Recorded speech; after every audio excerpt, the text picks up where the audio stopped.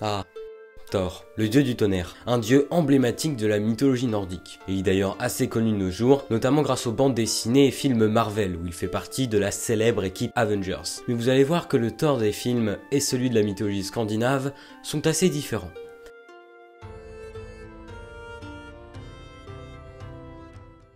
Alors on commence. Aujourd'hui, tous ceux qui pensent à Thor pensent immédiatement à ce visage. Mais la réalité est très différente. Le vrai Thor, celui de la mythologie nordique et viking, est un être extrêmement violent, rude et dur, avec une soif constante de sang. Cependant, cela ne signifiait pas qu'il est considéré comme un méchant, et même loin de là. C'était un héros guerrier qui a sauvé l'humanité à plus d'une seule reprise, mais qui prenait plaisir à tuer tout être le mettant en colère. Disons que pour se déstresser, il préfère fracasser du géant plutôt que d'acheter une balle anti-stress.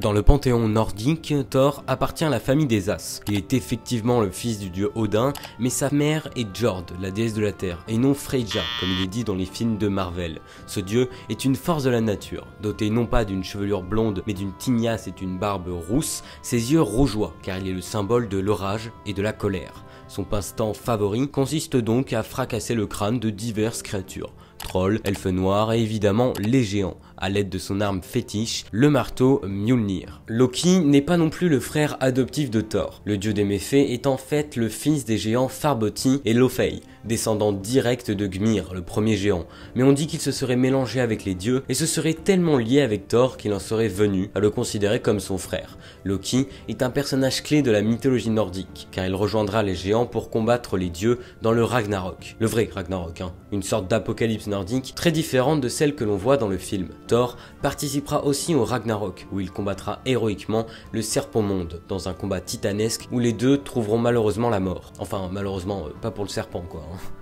Pour qui en est de ses armes, le dieu du tonnerre n'a pas que Mjolnir comme arme. Même si elle reste sa favorite, il porte en fait avec lui trois objets magiques. Le premier est donc Mjolnir, qui a le pouvoir magique de frapper aussi fort que Thor le veut, de pouvoir détruire des montagnes ou toute autre chose vivante ou non, ce qui protège ainsi la supériorité des dieux face aux autres êtres vivants. Pour s'en servir, Thor enfile son deuxième objet magique, une ceinture de force qui, lorsqu'il la met, accroît au double sa force divine déjà titanesque. Et pour utiliser correctement le marteau, il met son troisième objet magique, des gants de fer, qui le rendent invincible au combat en mêlée et qui le protègent de la chaleur ardente du marteau.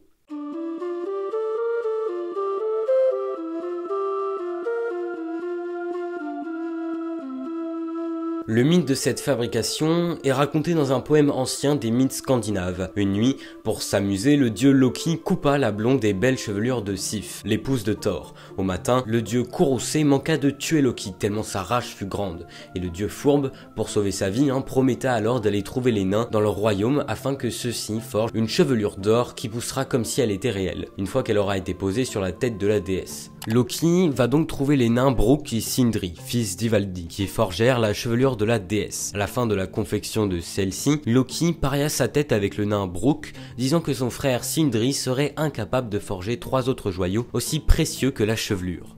Le défi fut relevé. Les deux nains et Loki se rendirent alors à la forge. Tout d'abord, Sindri disposa une peau de cochon dans le foyer et commanda à son frère Brook d'actionner le soufflet sans s'arrêter, jusqu'à son retour. Loki, qui tenait à gagner son pari hein, pour ne pas perdre sa tête, se métamorphosa en mouche et piqua la main de Brook, mais celui-ci l'écarta et continua de souffler sans s'arrêter. Son frère arriva alors et sortit de la forge un cheval aux soies d'or. L'animal courut dans les airs et dans l'eau plus vite que n'importe quel cheval et ses soies d'or illuminèrent la nuit sur son passage. Pour son deuxième objet, Sindri disposa alors de l'or dans la forge et s'éloigna, laissant les mêmes instructions à son frère. Cette fois, Loki, toujours métamorphosé en mouche, piqua deux fois plus fort Brook à la hauteur du cou. Mais le nain n'arrêta pas le souffler. Lorsque son frère arriva, il créa l'anneau Drovnir, qui, toutes les neuf nuits, détache de lui huit anneaux semblables tout aussi précieux. Le nain, pour son dernier objet, posa dans la forge un morceau de fer. Il s'en alla, et Brooke actionna toujours le soufflet. La mouche, qui se trouvait être toujours Loki, hein, commença alors à l'agacer, et se posant entre ses yeux, le piqua violemment aux paupières. Le sang coula dans les yeux du nain, qui à un instant lâcha le soufflet pour s'essuyer le visage et chasser la mouche. Sindir revint alors et sortit Mjolnir de la forge. Mais le marteau représente un défaut à cause de l'inaction temporaire du soufflet. Le manche est trop court. Les objets étant finis, Loki et le nain qui l'avait parié ramenèrent les joyaux aux dieux. Odin prit les neuf anneaux et Thor reçut la chevelure d'or pour son épouse Sif et le marteau. Unanime, les dieux décrétèrent que Mjolnir est le plus beau des six joyaux et qu'il dépasse largement la lance d'Odin, car c'est une arme puissante qui peut les protéger de leurs ennemis. Loki perdut alors son pari, et le nain victorieux voulut alors lui couper le cou, hein, normal. Mais Loki rétorqua que c'est sa tête et non son cou qu'il a engagé. Le nain excédé lui couda alors les lèvres pour le faire taire. Et perso, bah j'aurais fait pareil. Et maintenant, avant de passer aux représentations du dieu dans l'art moderne, je vais vous parler un peu des chèvres de Thor. Car oui, le dieu a bien deux chèvres avec lui. Contrairement au Thor du film, dans la mythologie nordique, le marteau ne permettait pas à Thor de voler, mais pour se déplacer dans les airs, il a un chariot volant qui est tiré par deux chèvres. Elles sont des chèvres magiques et immortelles. Leur capacité, en plus d'emmener Thor où il veut, est de le nourrir. Le dieu nordique pouvait ainsi les cuire et les manger, puis ramasser leurs os et les ranimer avec son marteau, tant que les os des deux chèvres ne sont pas endommagés. Les chèvres de Thor sont mentionnées dans deux poèmes de l'Eda poétique, sans que leur nom n'apparaisse. Dans le poème Igmis Kivida, il est dit que Thor met ses boucs en sécurité avec un humain nommé Egil dans le Midgard, avant de continuer sa route avec le dieu Tyr pour se rendre au manoir du géant Gmir.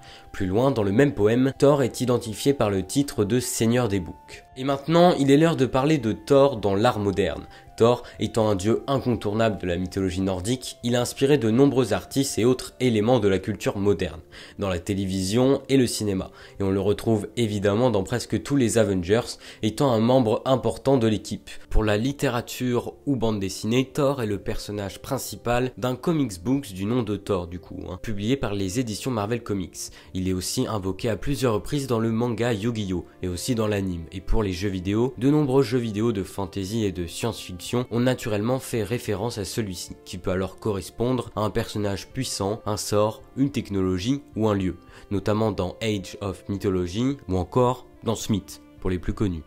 Thor est donc le symbole d'une civilisation marquée par la guerre dans les contrées froides des terres nordiques. De nombreux Scandinaves n'hésiteront pas à donner ce nom à leurs enfants afin de leur offrir la puissance du dieu du tonnerre. Et voilà, c'est la fin de cette vidéo, j'espère qu'elle vous aura plu et vous aura peut-être même aidé à en apprendre plus sur ce dieu. Si c'est le cas, vous pouvez liker et commenter cette vidéo pour le référencement, partager, ainsi que vous abonner si ce n'est pas déjà fait. Et nous, on se retrouve vendredi prochain 17h15 pour parler d'une créature terrifiante et connue, j'ai nommé le loup Fenrir.